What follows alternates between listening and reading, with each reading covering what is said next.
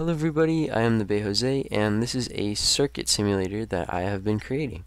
Uh, so today is my first day working on this circuit simulator and uh, I'm going to document my progress creating this uh, application throughout the development of this application. Uh, so to start off, this is the background. Uh, this is kind of the workspace that you build all of your circuits on and you can use the arrow keys WASD to move the screen around. Uh, the background is not move with the uh, kind of orientation that you're at, but I can fix that shortly. Uh, so it is the this, the workspace is infinite right now. So um, I'll just select an object up here and place it down in the world. So you, you can place objects in the world. Uh, they don't have to necessarily be on this background though. So if I move over here, I can also place objects way out here. It's just they're out there. And uh, you can't really see them on the background because the background does not move. So I'll start out introducing my objects. So this here is a toggle button, which is an input for power into the system. Uh, this here is a wire connection point um, which is basically just a spot that wire can connect to. And uh, next I have my wire. So wire uh, requires two objects in order to work. So I'm going to click here. This is my first object, and I'm going to click on this wire connection point. That's my second object. So as you can see by this black line drawn here, there's wire connecting this button to this wire connection point. Uh, now this is a toggle button so normally when you right click you place down the object that you have selected. However um, if you press right click on an object itself it detects that it's an object and not just some empty space out in the world and it runs that object's right click event instead of just adding another button on top of this button. So uh, just right click, turn it on, turn it off. This is a toggle button, so toggle it on, toggle it off. And when you toggle it on, the wire turns red, carries power to this object here, which is a wire connection point, and this also lights up red so you can tell that it is powered. Um, so next what I added is an inverter. So what this does is it just inverts whatever signal you have going into it. So I'll connect this all up here um, I don't have any power going into it, but it does output power. However, if I input power to it, it does not output power. So it just flips it. This is very much like a redstone torch in Minecraft. Uh, next, I started to add some logic to my game. I have uh, an AND gate, um, and what this does is it requires two inputs in order to output. So if output 1 is on and output 2 or imp sorry if input 1 is on and input 2 is on it will output power. Uh, so that works. Input output. Uh, however if if either of these are not powered it does not output power. They both have to be on which is why it's and which is why this is an AND gate sorry. Um, let me start. This is an AND gate because it requires this and this to be powered in order to output power. So if they're both on, it outputs power. Um, next I added an RS NOR latch, which is basically memory. It will remember its state. So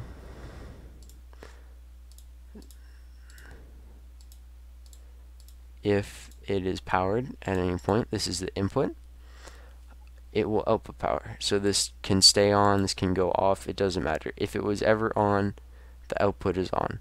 And this is the reset. So hit that and that resets it. Um, next I added a delay type circuit, which is just like a redstone repeater in Minecraft. Um, so what this does is it just delays the time it takes the power to travel through the circuit. Um, this one here also has a right click event. When you right click on it, the little delay gets longer. So it increases by fourths of a second. So this is one fourth of a second, half a second, three quarters of a second, and a full second of delay. If you right click on the button, it takes a second in order for the power to keep going and power that light over there. Um, what I added next is something that is not in Minecraft at all, which is a uh, seven segment display. You can make these in Minecraft, but it takes lots of circuitry and redstone stuff. So uh, I'll just program this up real quick so that it uh, displays a 1 when I power this button. So this would be a 1. So when this is powered, uh, instead of being this gray color, these uh, lights light up green, which is great.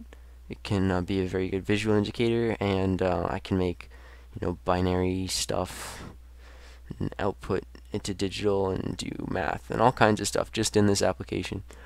Um, and the last thing that I added today is an OR gate, which is not required at all anymore. It's completely useless. I might even remove it from the game, and I'll show you and explain why. Um, so before when when I did implement this OR gate into the game, uh, I implemented it because my wire connection points were bugged out. Before these wire connection points would detect that there are two wires going into them, but it would only respond to input from the last connection made to it. So right now as you can see it responds to either input whereas before if I powered this this would not be powered because it was only listening to this last wire connection point but it does work now so this is essentially an OR gate and it does do the exact same thing that this OR gate does except, except uh, this is a lot more compact um, this uses three objects this is just one object so either of these are on, output's on. If both of them are off, output's off. So it's an OR gate. Um, now over here, this is the move tool. Um, I don't have this working, you know, perfectly well right now. Um, yeah, it just doesn't seem to be working at all. Oh wait, there it is. It's sorry, it's on the trash. Uh, it does work. So if you click on the trash, I just have these two icons switched. Uh, you can move objects around. So if I click on the trash and I want to go move an object, um, it kind of split up there, but this does actually, these two things are still registered to one another. It's just, that's a bug. I have to fix that. But today is only the first day. I'll have time to change all this stuff later. Um, also, this would bug this out. So I can actually uh, move the 7 segment display around. I hope, maybe? Yes? Oh yeah, yeah, yeah. It's not registered to the whole block. It's just the top corner. There we go. So I can I can move the seven segment display around, and uh, it still is registered to all these different points over here. It's just yeah, just it doesn't update. Um, so I have these two things switched. This trash can does not actually do anything yet, but I can uh, switch it around later. Uh, and then these two are my save and load, and I will show you those right now. So this, when I click it, it saves all of this to a text file, and then load loads it from the text file. And you may have seen some stuff jumped around right there. When I load it, it does reset these uh, correctly. So if I take the move tool and I move something around and I save it and I load it, it will uh, re-update and it will fix itself, which is good. I just need to get it to do that automatically on the move instead of on the, you know, save and reload. So um, I'm going to break the video here and I'm going to go show you the save file that is created for this. So be right back. Okay, it doesn't look like uh, Fraps is going to record uh, Notepad, so I'll just uh, end the video here today.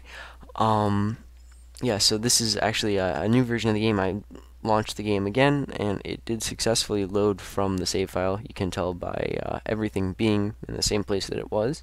So, correctly uh, saved and loaded from a text file. Um, I'll switch over try to figure out how to get it to record the text file or maybe I'll just post the text file in the description so you can see all this code uh, that I saved to text file to generate this. And um, I can tell you the text file is pretty small. I think it's only around 450 bytes for all of this to be saved correctly which I think is pretty good